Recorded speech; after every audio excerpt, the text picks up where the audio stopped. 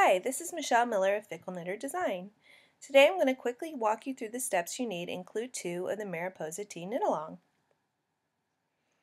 The steps we're going to follow in Clue 2 are going to be the place markers for waist shaping, work a decrease round in four rounds incorporating the lace panels, twice, then we're going to work three rounds, and finally we'll, we will work the increase round for, in four rounds twice. That'll be it for Clue 2. Waist shaping is going to help shape the garment to give you a better fit. It's accomplished using a series of increases and decreases. We'll do the decreases first at the four markers we're going to add in the place marker row. After we work two sets of decreases, we're going to work three rows plain and then two more sets of increases. Here's a quick video of me placing a marker just in case you've never done it before. For the decrease rounds, you'll work 12 stitches of the right side chart, then to 2 stitches before the marker, slip slip knit, move the marker, knit to the next marker, knit 2 together, knit the stitches as indicated in the pattern, work the left side and the right side of the chart, knit to 2 stitches before the marker, SSK, knit to the last marker, K2 together, knit the stitches as indicated in the pattern, work the left side of the chart and ending at the beginning of the round marker. This is the end of decrease row the first.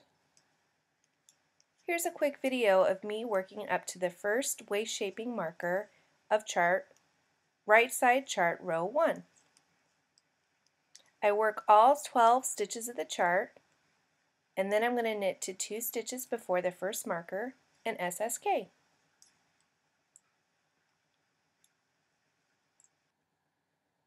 Don't forget that you're going to knit the next four rows including the lace panels. In fact, you're going to work the lace panels, otherwise known as the right and left side charts, all the way through the end of clue 3. When you work the decrease round a second time, you'll have one less stitch between the 12 chart stitches and the marker. Don't worry, this is all indicated in the pattern. Each action row, i.e decrease or increase row includes the right and left side chart row number to help you keep your place.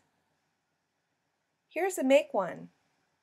This is the increase you're going to need to use when you do the increase rounds. But first, before you do that, you're going to work three rows plain, but don't forget the lace panels. For your increase round, you're going to work 12 stitches of the right side chart, then to the first marker, make one, move the marker, knit to the second marker, move it, make one, knit the stitches as indicated in the pattern, work the left and the right side chart, knit to the third marker, make one, move the marker, and finally knit to the fourth marker, make one, don't forget to knit the stitches as indicated in the pattern. Then you'll work the left side of the chart ending with the beginning of round marker. This is the end of increase row the first.